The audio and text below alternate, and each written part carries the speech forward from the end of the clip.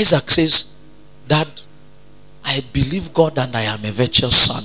No, she's not pregnant. Say, okay, I believe you, my son.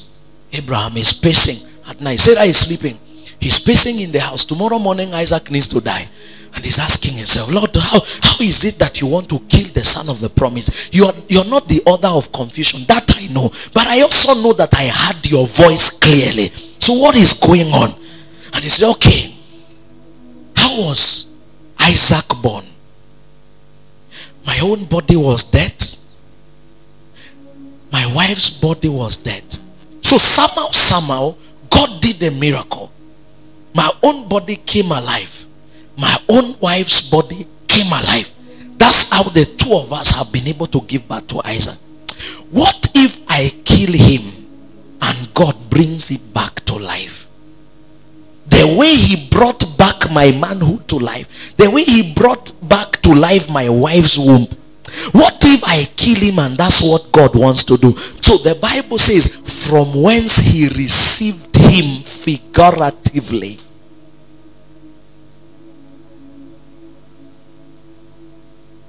And when I, Abraham, was done reasoning all those things, I know God is not a liar.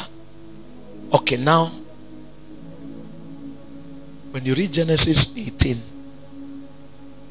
is it 18 or verse 22? Eh, chapter 22, sorry. When you read verse 5, let's check. Let me show you something. Genesis uh, 22, verse 5. Genesis 22, 22, verse 5. He says, And Abraham said to his servant, Settle down and stay here with the donkey. And he says, Myself and this young man, we are going to climb the mountain. He has settled this matter in his mind last night. He said, We are going to climb up the mountain. We will go and worship the Lord. And we will come back again to you. Because I have reasoned this thing out. There is no way Isaac is going to die. Verse 8.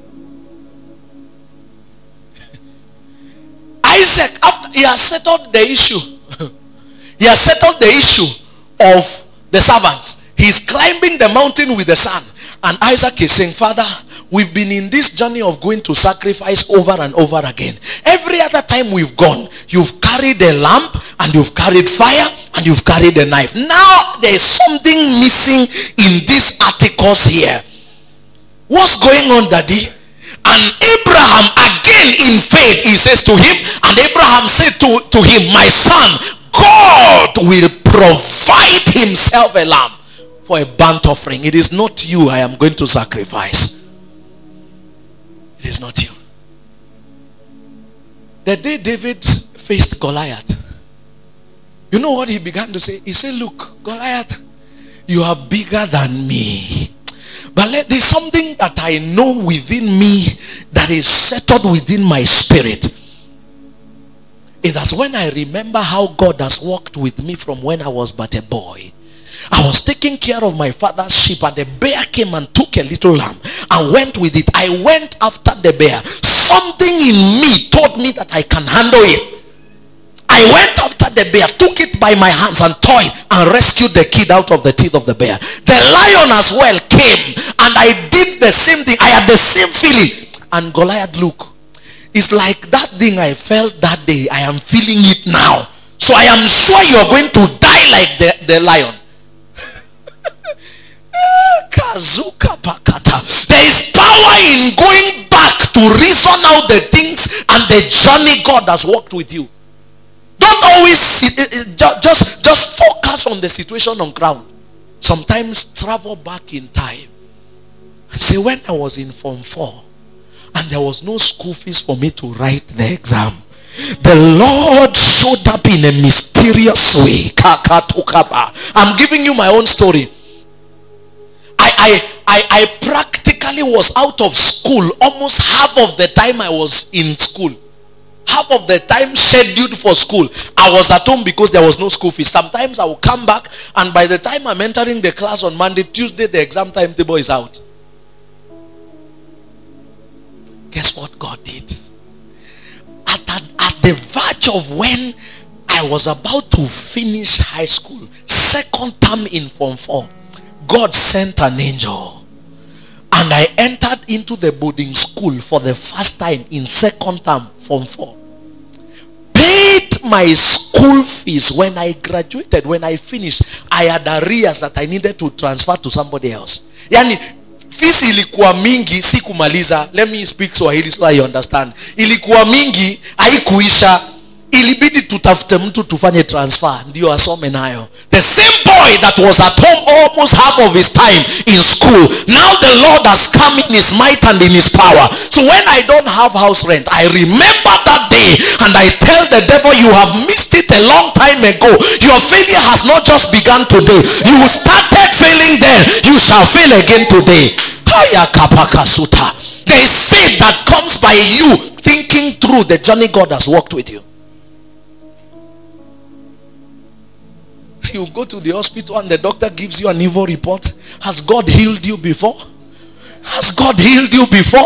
Even if it was just a mere finger ache or headache or anything, you just go before the Lord and say, Father, you are the same yesterday, today, and forever.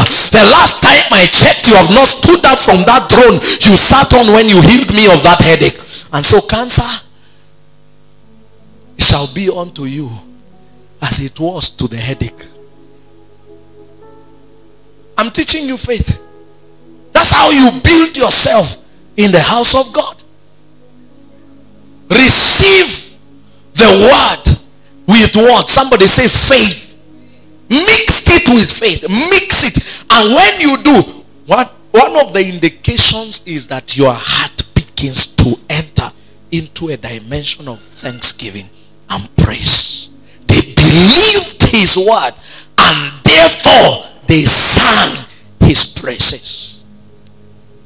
Psalms 119, verse 164.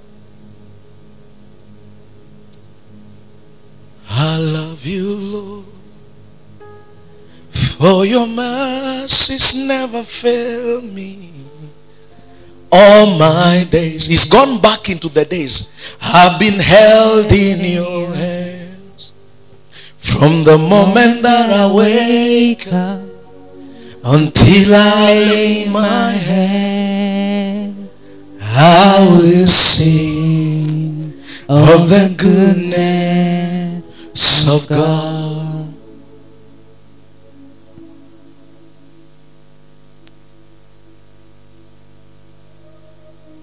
He says that hmm? Psalms 119 verse 164.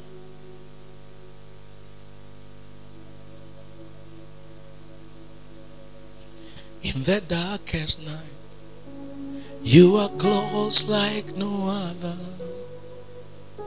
I've known you as a father, I've known you as a friend. Seven times a day.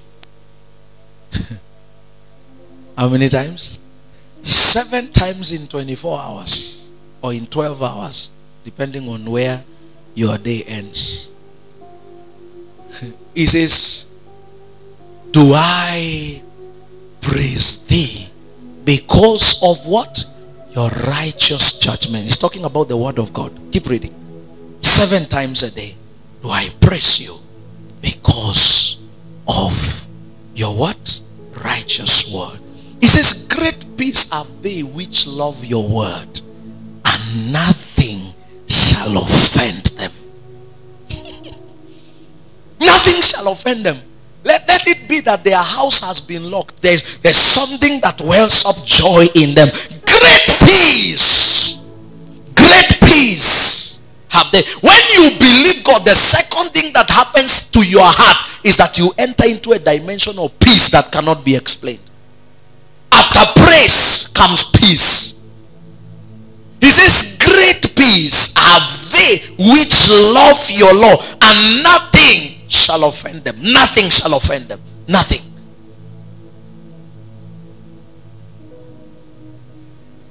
He says, Let the peace of God that surpasses all human understanding guard your heart and your soul. When you believe God, you have peace. Remember Jesus? Jesus on he is on a journey, he's sailing, and there is kuna zinaitangwa nini? Dhoruba na mawimbi. They, they, they, are, they, are, they, are, they are wild weeds. And, and the, the boat is being tossed to and, and, and back and forth. The scripture now says something. The bible said and water began to enter into the boat. And jesus was sleeping. Where in the lower deck now if water enters a boat where do you think it will go fast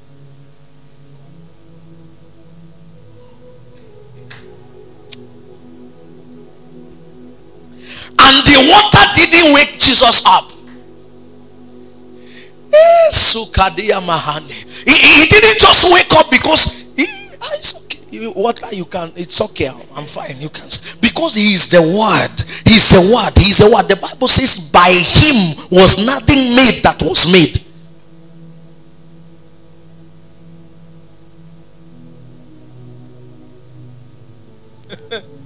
and he's, he's just peacefully sleeping there until the people who water had not reached to the water is in the lower deck oh, and they are up here there is no water they run to him they say master carest thou not that we perish and jesus is looking at them he said oh your problem is not that you are afraid your problem is not the water your problem is that you don't have faith if you had faith you will know that even if the boat sank god can make you walk on water Zokola Kapala de Yamahando. The landlord, the, my former landlord chased me out of a one bedroom house. I left her house. I entered the two bedroom house. I couldn't pay 10,000. I entered into a house of 25,000. That's how you punish the devil. and, and you see, we, we just didn't have an argument. I said, Here is your money. She said, I don't want your money. Get out of my house. I said, Done deal. I stepped out. I stepped out in anger and in faith. Who does that? You're being chased out of a one bedroom house. You can't afford it. And then you step out and say, I need a known compound. That's to tell the devil you're not devil enough. The Nigerians will say they not born you well. Let me tell you, there are some things by, by reason of how you've walked with God. Enemy just toast you to and fro by every wind of, of, of trouble. Sometimes in persecution, just calm down. Put on very cool blues and get a glass of cold water if you can't afford soda and just sip it. All my life, you have been faithful. All my life, you have been so, so good. With every breath that I am able, I will sing of the goodness of God. Just, just break out into worship. Yesterday we were here praying, and when we were about concluding the prayers, we were we were we were about to pray. Actually i was the last person in the prayer of agreement to sit down. And and suddenly i felt an angel standing behind me. The people who were with me didn't know why i, I started singing. They thought i was just you know expressing. I just looked back and i saw a huge angel standing behind me. And i began to sing. The heavens and angels bow. Was that not the song i sang the redeemed, we worship you now. Holy, holy, holy are you, Lord. You must come to a place and be conscious of God more than the devil. Be conscious of his word. The highest knowledge you need to have is the, the knowledge of his word. What God is saying about you is the knowledge that should dominate your head, not the situations you are in. So, The highest thing I do, if I am having pressure, too much pressure around me, you will never catch me with the face. God, what are we going to do? Never.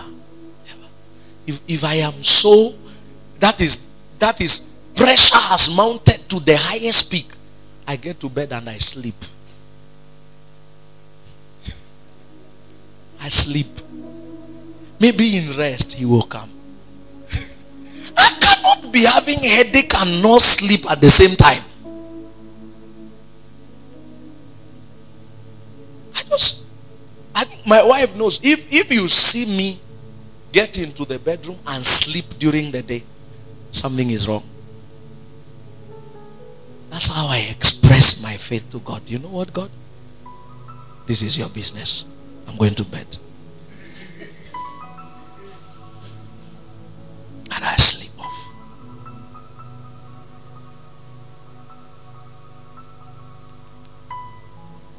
Believe you the word of God. Number three is that the word of God must be acted upon. If it is going to profit you. We, remember, we are in the school of the word, right? Yeah. The word of God must be believed, must be received, and then it must be acted on. Must be acted on. This is the separating ground for faith filled results or empty declarations. The realm of action, the realm of action is a separating ground between empty declarations and faith filled results. Some of us hear God like we hear our neighbor. But our problem is that we don't act when God speaks.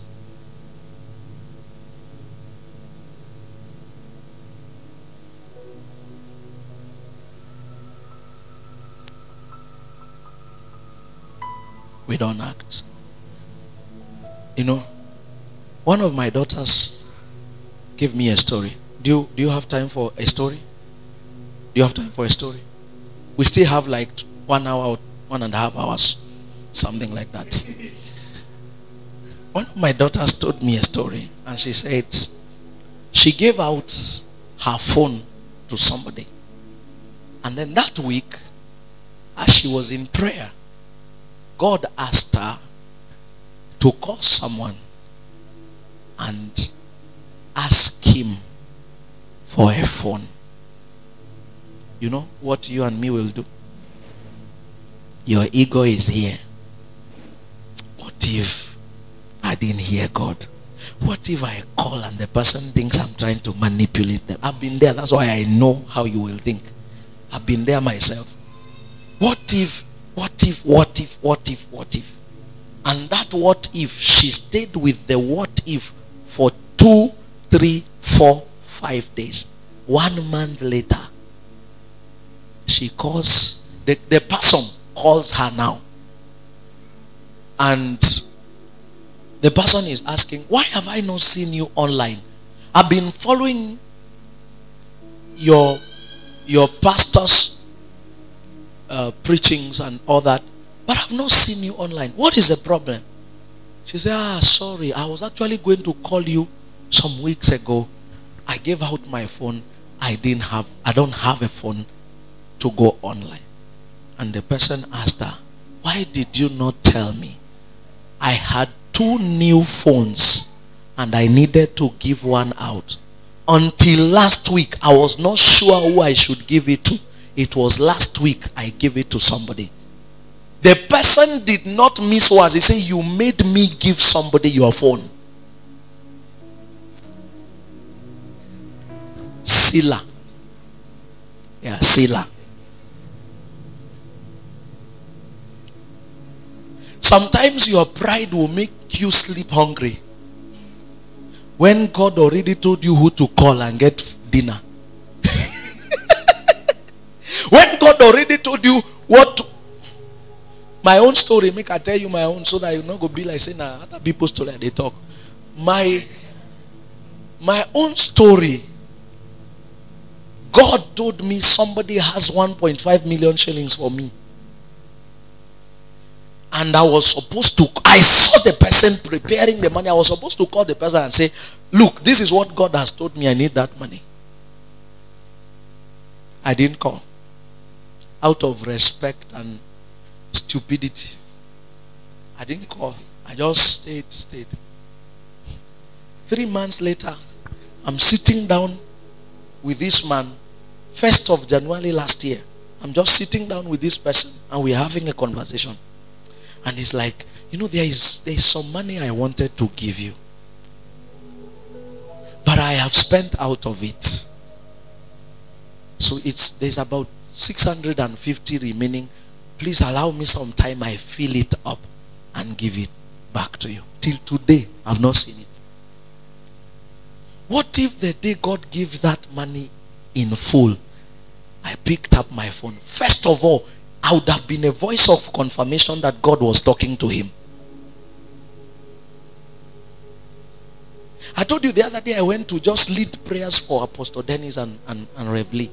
And I took the microphone, led prayers for 30 minutes, All Saints Cathedral, and I came down. As I was coming down from the prayer, God told me so and so. It, their guest preacher said, guest preacher has your offering today. I say, ah, God, how do they invite somebody to come and preach? And me, I collect offering from that person. I mean, God, even you, are you not seeing that you get us a B? But I had learnt my lessons. So when I came down, I went, I, I dragged the apostle.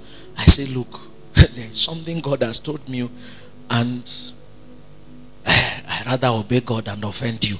God has said me, has told me that that your guest has an offering for me.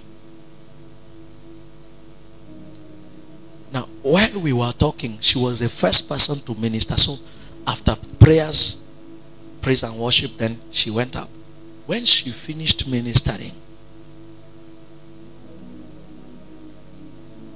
I don't want to mention her name. When she finished ministering, she came down from the altar and came. The people were sitting here, there was one lady, then uh, Reverend Lee, then Apostle Dennis, then myself. She started shaking people from here. Shook this one, shook this one, shook this one. When she came to, to me, she said, Give me your phone number. She took out her phone and went straight to her M-Pesa. She typed and 20, sent me 12,000 instantly. Yes, it's not 1200. 12 or 12 shillings. I'm looking forward to $12,000. This one is in shillings.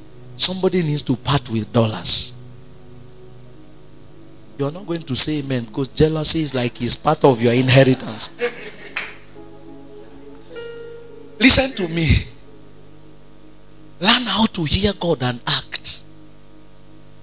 Because sometimes it takes that kind of faith and believing God, whatever He says, He says, that's how you enter into your heritage. Glory to God.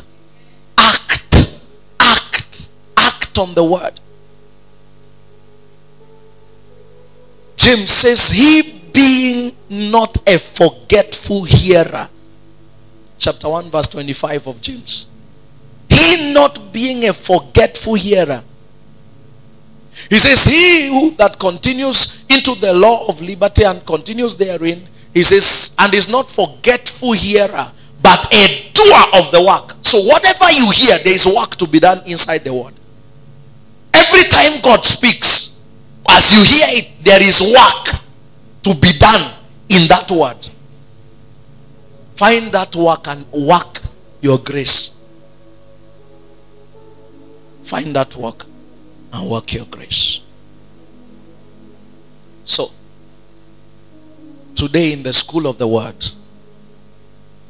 we are looking at the fact that the word of God is the revelation of God's will and God's mind and God's ideas for you.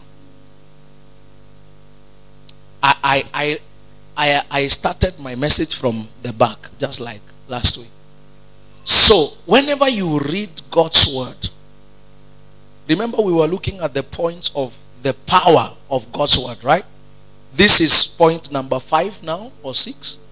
That the word of God is a revelation of God's will, God's mind, God's thought towards you. The word logos, the scripture says, and the word became flesh and dwelt among us. That word logos there actually means the thoughts, the idea, the, the, the thinking patterns of God. As we study the scripture, what we see is the revelation of God's mind concerning our lives. And we must receive it, we must believe it, we must act on it. I'm finishing. So every time God speaks, it is a revelation of his will. This the Bible calls him, I think in Ephesians 1 11. He oh no. I'm not sure. He says, It is God or calls God the one who does everything according to the counsel of his will. That is, there is nothing God will do except by the counsel of his will. He does all things according to the counsel of his will. You need you know you need to know scriptures so that when I am stuck, you can redeem me. Glory to Jesus. He does all things according to the counsel of his will. So that now God does not do anything, God will not engage on anything as far as it concerns man, except it is within the counsel of his will. Glory to Jesus. I said, Glory to Jesus. So you need to um, remind yourself I was right too. I don't even know why I doubted myself. Ephesians 1:11. He says, In whom also we have obtained an inheritance, being predestined according to the purpose of him who worketh all things. Somebody say all things. He works all things according to the counsel or after the counsel of his own will.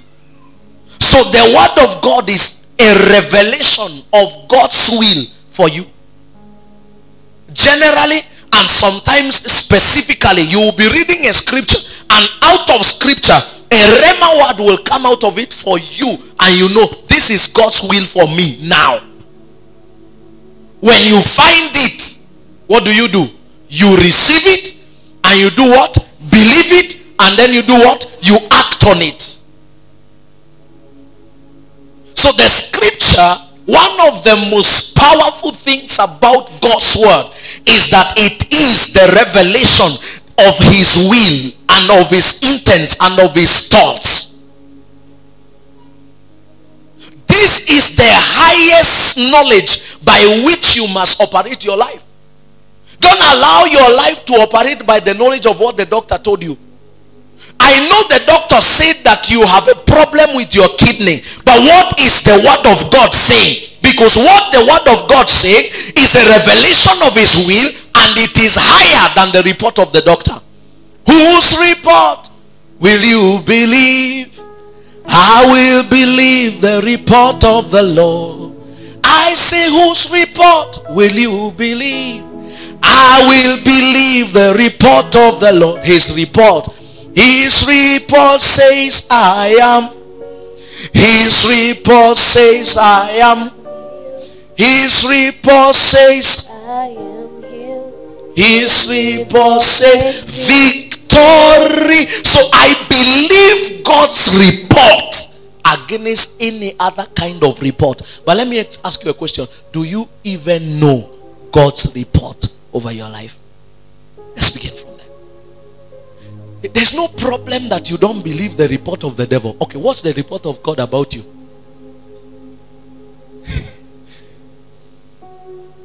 it's not what is in a song, that is what you must find for yourself. Find for yourself. Shadrach, Meshach, and Abednego, they looked at the king. They said, Look, king, we are not careful to answer you in this matter because we know. Not, not we had. We didn't hear about this God. We know him. The God we serve has a capacity to deliver us. And looking, even if he chooses not to deliver us from your hand, we have made up our mind to serve him and never to bow to your idol. Now that's a man who knows the God he believes. So Daniel 11:32, the B part of it, he says, They that know their God, they shall be strong. They shall be strong. Because there are certain circumstances in life that will come that will sap away every little strength left in you. There has to be something you know, a revelation of what Is saying, a revelation of God's will concerning my life. So he gave you a counsel in Second Corinthians chapter 4 verse 18. He says, while we look not at the things that are seen. Let's begin from verse 15. Let's begin from verse 15. Let's let's look at for all things, please read with me now. Are for your or things are for your that the abundant grace through the thanksgiving of many reabound to the glory of God. Give us the New King James Version, please.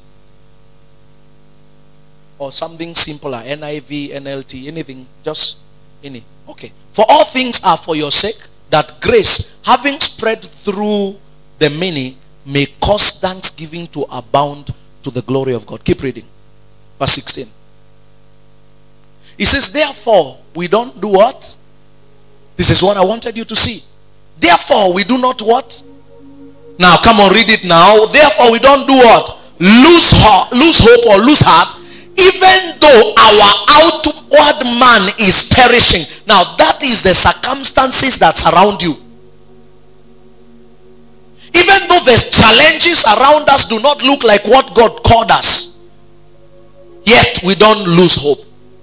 Yet the inward man is being renewed day by day. Now, this is the reason for the renewing of the inward man. That we don't look at the things that we can see, we fix our gaze on Him, on the counsel of His will. He says, therefore, we do not lose heart, we don't give up hope. Even though the circumstances around us look like we are finished, he says, but inside us, there's something that is giving us strength to move forward. Keep reading. Verse 17. Verse 17. He says, For our light affliction. It takes revelation to call affliction light. Yeah, it takes revelation to call affliction, persecution light and, and just take it with joy. It takes revelation. No one man told us in Kirinyaga last week, the other week, he said, this thing called life and ministry is not by how old you, you've been in it. You can't brag, I have been in ministry for 30 years. It is by revelation. The light you see determines your result. The light you see determines your level. So he says, but our light affliction, which is but for a moment. So two things Paul has a revelation of. Number one, that the affliction is not as heavy as the enemy makes it look like. Number two, he has a revelation that this is not permanent. it's not going to last forever. You think I am going to be jobless forever? No. You think I am not going to, I'm going to walk, you know, Route 11, Legady's bends. I'm not going to walk on my leg for all my life. I'm using Legady's Benz now. Tomorrow I might be on a Mercedes Benz. I'm not giving you hope. I am reading scripture for you. That our light affliction, which is but for a moment, is working in us or for us a far more exceeding and eternal weight of glory. Then he tells you, because you know this, look not at the things that are seen. Look not for we look not, for we look not at the things that are seen. He says, because those, the things that our eyes can see, lack of house rent, lack of food, lack of a car, lack of a good job, lack of a husband, lack of a child, everything, sickness in our body, all these things that the eyes of men can see, they are temporal.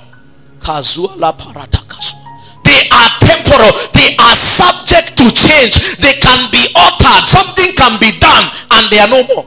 He says, but we fix our gaze on that which is eternal. The word of God. The revelation of his will. The revelation of God's idea and thought about me. So there has to be a knowledge you have that settles in your spirit man.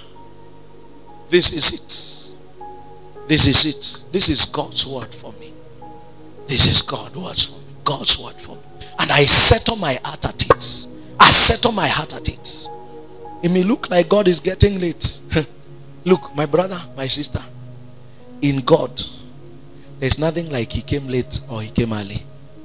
I told you you can buy your dream car, buy your dream house, buy your dream plane, marry your dream wife in one day, one miracle. One miracle. I asked you a question. Christine, if God gave you a billion dollars today, you realize you exhausted all your dreams. Sorry, I, am not saying your dreams are small, but the truth of the matter is that a little miracle as just a billion dollars can exhaust your dream realm. Don't joke with God. Don't joke with God. Some of you, you've not even gotten to the realm of dollars. If you only give you one million Kenya shillings, dream finished.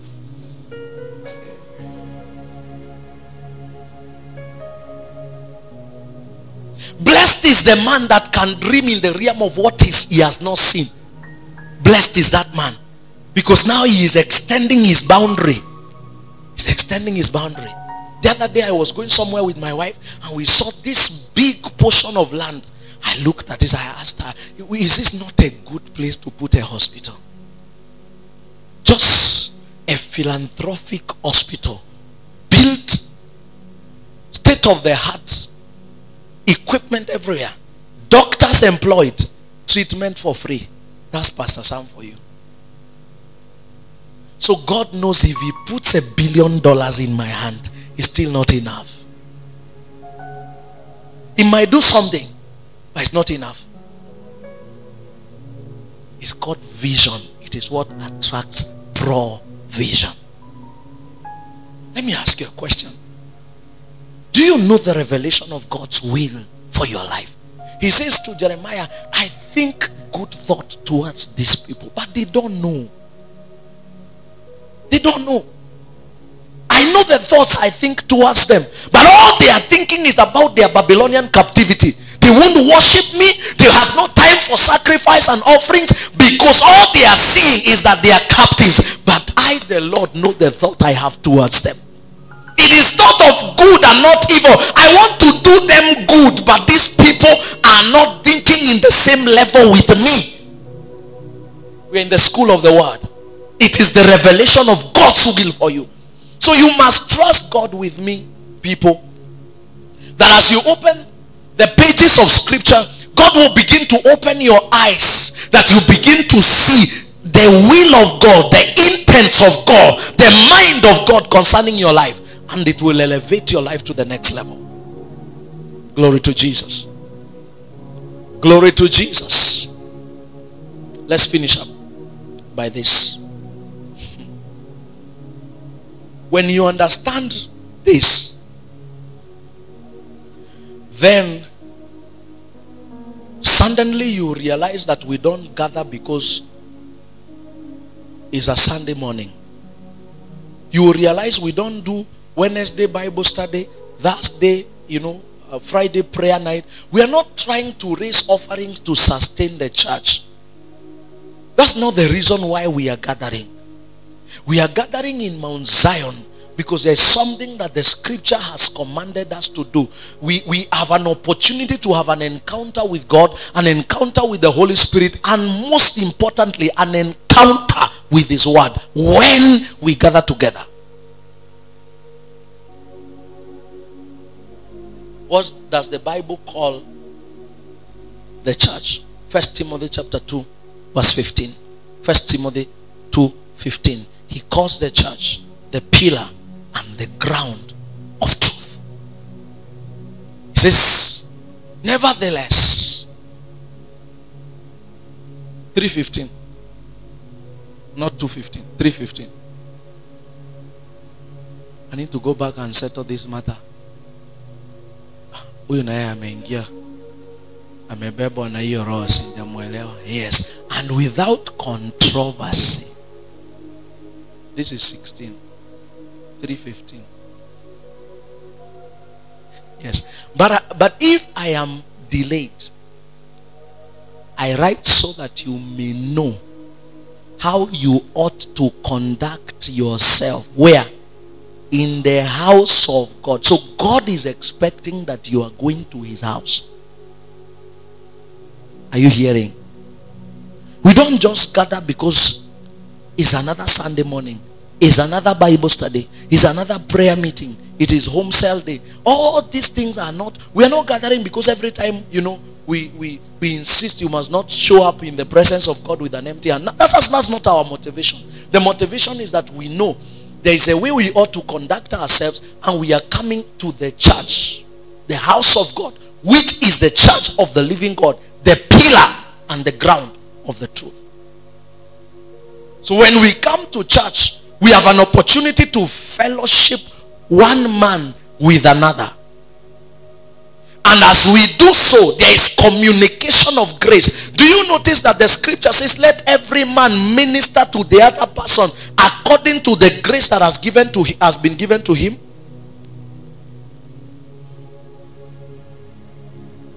Amen. I said amen. Give me first Peter chapter 4, verse 10. I have many things to say to you. yeah, I have many things to say to you, but time is not on my side. First Peter 4:10. Apart from coming to the place of just reading and studying the word of God, Please read that scripture with me. Want to go?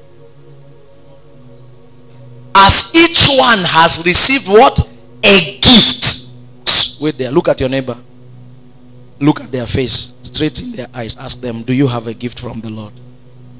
If they say no, just stand up and walk to another person. That one is not going to help your life. He says, Each and every one of you has received a gift. Minister it. The gift you've received from the Lord, sir minister to me.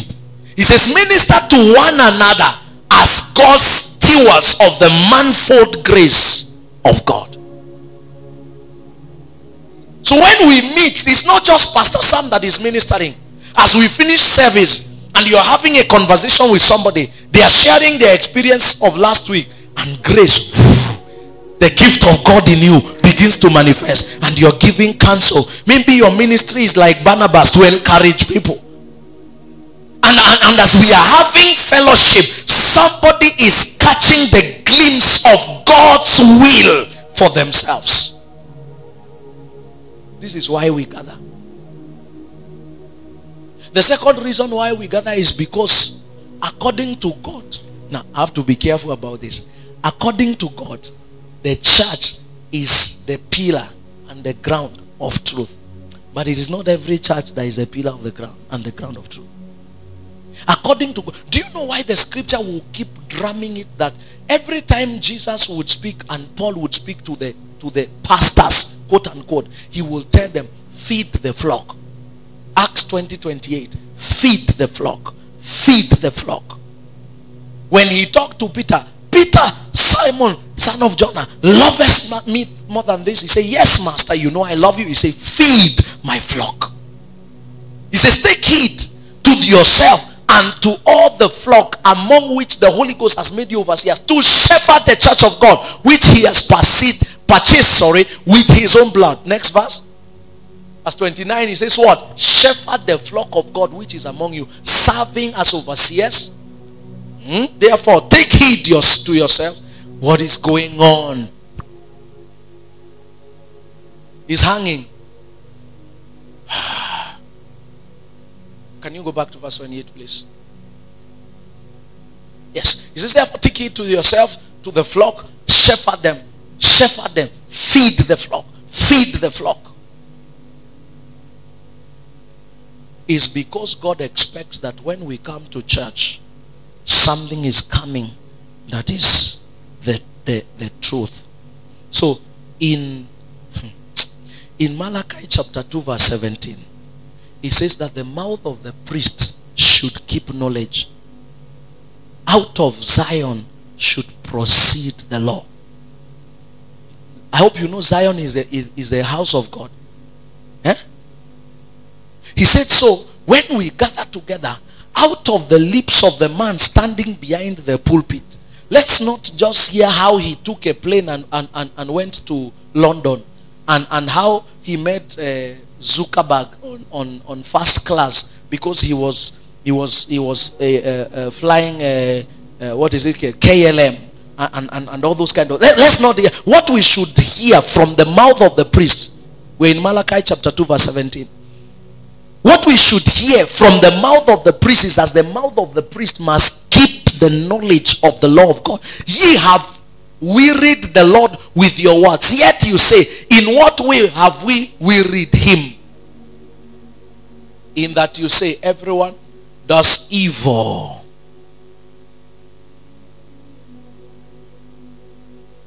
And is good in the sight of the Lord.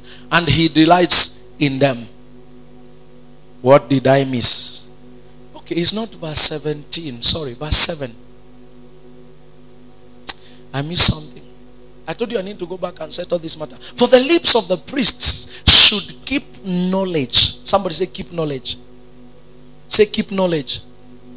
So if your pastor is not keeping knowledge, and it's not just any kind of knowledge, it is that people should seek the word, the law. That, that law there is the word of God. Should seek the law from his mouth. If that's not what is coming out of your pastor, he's not helping you, you're not helping him. Are you with me? When God began to prophesy by the prophet Isaiah concerning the church and, and, and what the church should become in the latter days, he began to write in Isaiah chapter 2, I think beginning from verse 4 now. Um, Holy Ghost, help my life.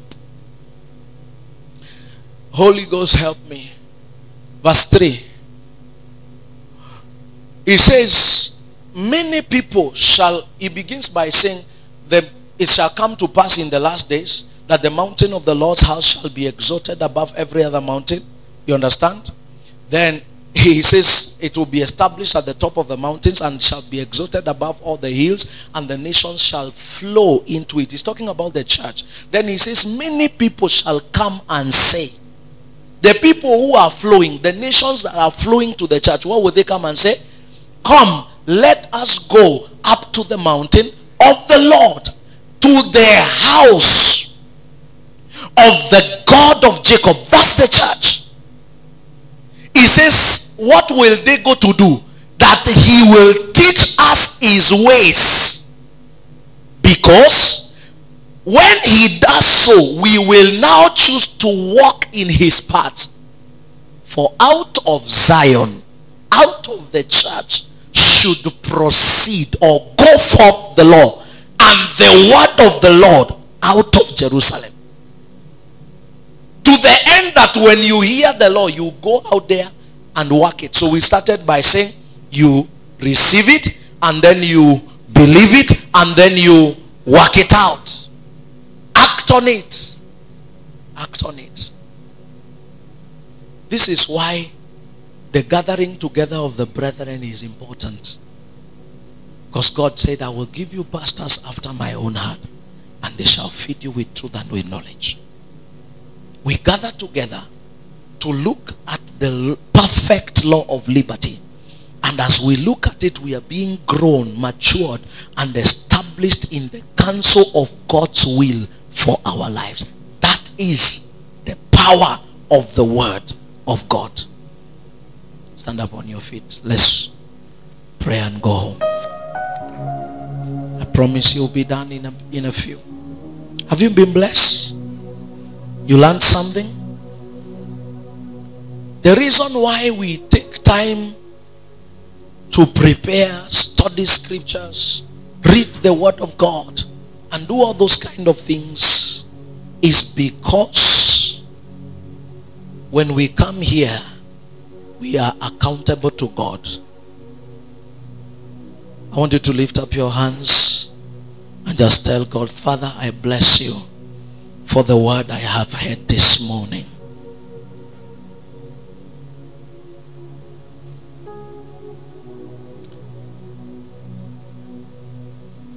Bless the Lord, oh my soul. Oh my soul. Worship his soul. Lift up your hands and just give him praise. I'm not asking you to join me to sing. I'm just what, telling you to, to give him praise and thank him for the words you have heard, for what you have received this morning. Sing like never before. Oh, my soul, worship his holy name. I give you praise. Thank you for rebuking me. Thank you for correcting me. Thank you for instructing me in righteousness. Oh, my soul, worship His holy name. Sing like never before. Oh, my, my soul Worship his holy name. Come on, pray. Just give him praise, somebody. I am grateful that I heard your word this morning. Am grateful for the revelation of the counsel of your will. I know where I have been missing my way because you've taught me, and I am schooled in truth. I understand the ways of the Lord. Blessed be your holy name, Lord. Blessed be your holy name. Shanama Katayadabosa. In Jesus' mighty name we give thanks. Now I want you to lift one hand and put the right hand on your chest and say with me, Father, I ask that you give me the grace to receive your word with joy, with gladness of heart, with meekness every time you minister to me.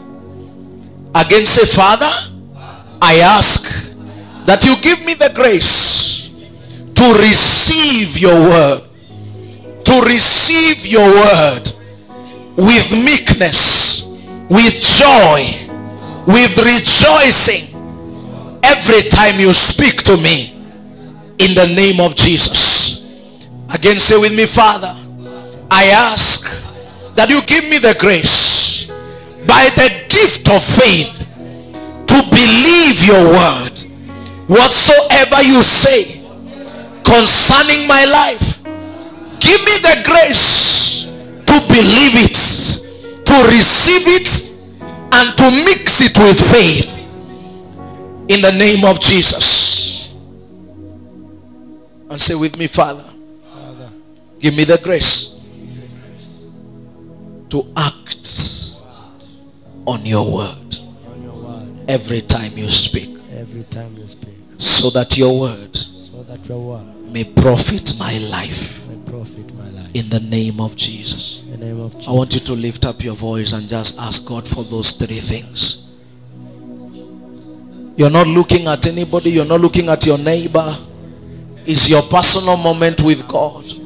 You know how many times God has spoken and you didn't have the grace to receive it. You know how many times God has spoken, you received His word, but there was no joy to keep it. There was no peace in your mind. You didn't believe what God said. There are many times you have believed the word of God. You have even declared it, but then you didn't have an opportunity to mix it with actions. Lord, I ask for these three dimensions of your word in the protocol of receiving that which you speak give me the grace to receive Give me the grace, my Father, to believe what you say and the capacity to act on it, that your word may effectively work in me. That your word may effectively work in me. That your word may effectively work in me.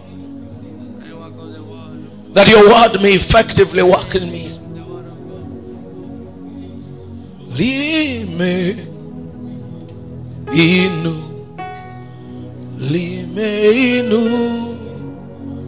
Liwa neno lako. Kama vile jana lina nguvu leo. Mile imba lime. Lime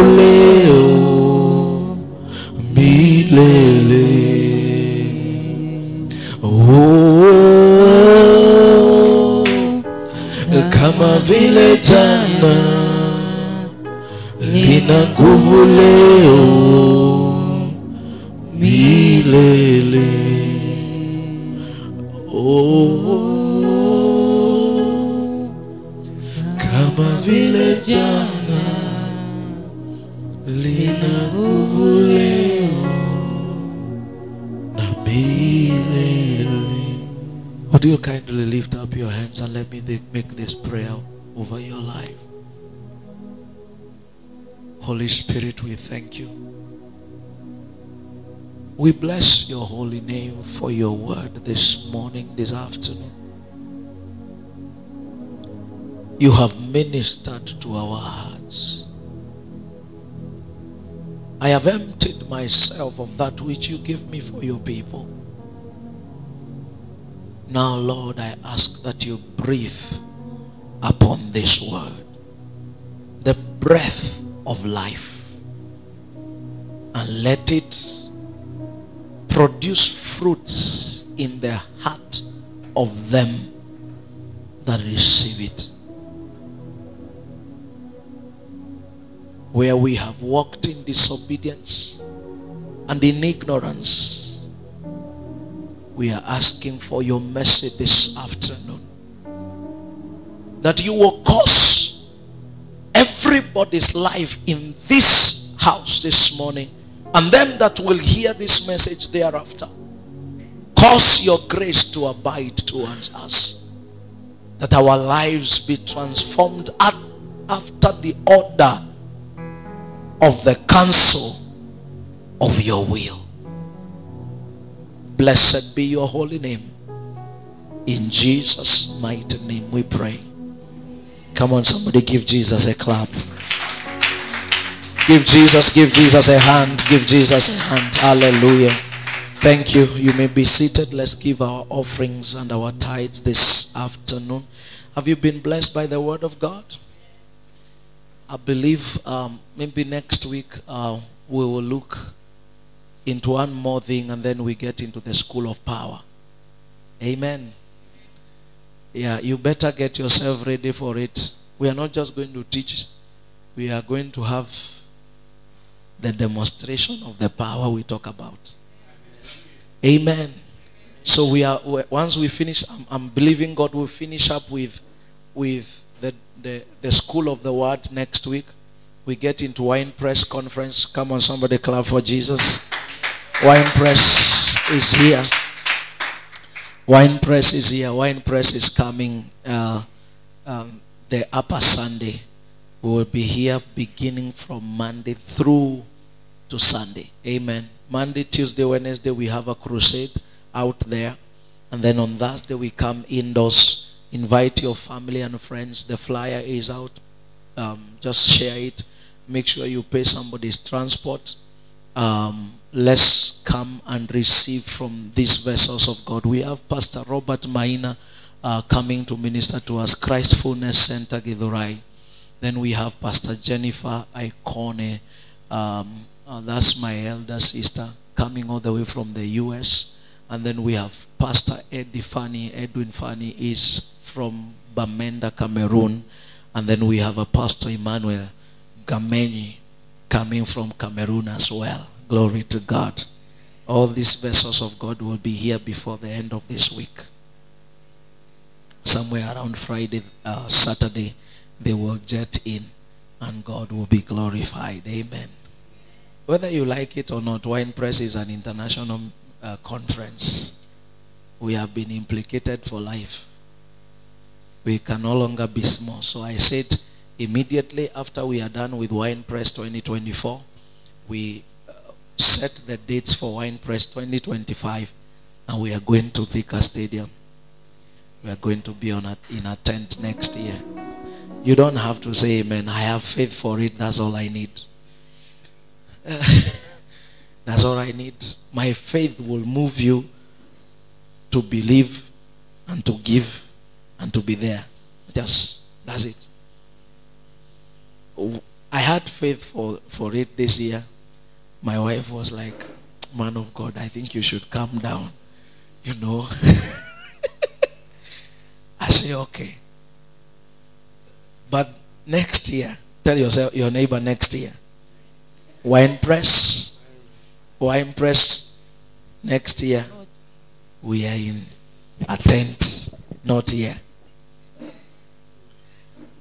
See, this is now the other side of what I didn't teach you. Is that I have no problem doing that tent and going there and we have 50 people. I have no problem. But I know we will have 5,000. You see yourself. You can't, your, your amen is epileptic. It needs support to stand. amen. So, by God's grace, next year, as the Lord will have it, we shall be out there for the kingdom. Amen. It's not to make a name, it's that I know that God wants to do something great with Wine Press. Wine Press started in a very bad year. 2020 was not an year to do any conference. We were in the house from February, March, April, May, June, July. August is when they said, okay, churches can begin to gather, but you must distance yourself. I started a fellowship in the house. That's when Christ's restoration was reborn again. I only only one member. Okay, two. My wife and Mike. While we were gathering in, in the house, I think Jackie and your husband, you came there. No, only you. You came there some two, three Sundays. While we were gathering in the house trying to think on what to do, God says, This is how you go back to church. Put up a conference. Call it Wine Press Conference. I said, Okay, God, I believe you, but how do you do a conference with two people? Moved by faith, obeyed God, put up a conference.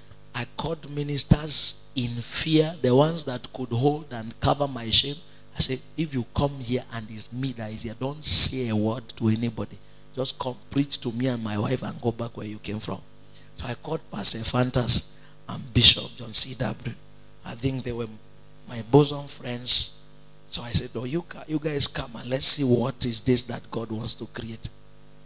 It was in that conference that God gave us a car. That conference that had two members. It is in that conference that God gave me a car. It was that conference that shifted us from this tiny place I wish we, we can have a small clip of that, that conference and play it for you. You will be shocked. We were not more than 15. We were not. But a day came, I think that that day of the conference, the, the intensity of the presence of God was too much. The bulbs were going, almost blowing up.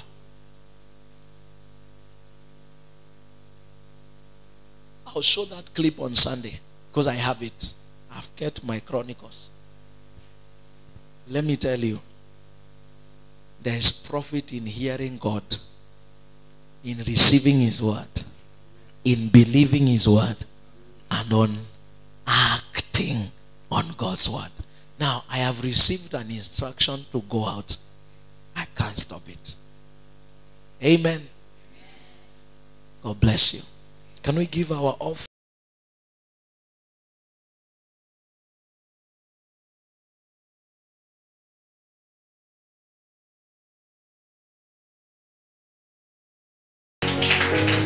No, keep clapping until they hear your sound. Thank you. Thank you so much for tuning in and for being part of this service. We bless the Lord for you. We know what God has done here. You be a partaker of it. There are details on your screen right now that you can use to give.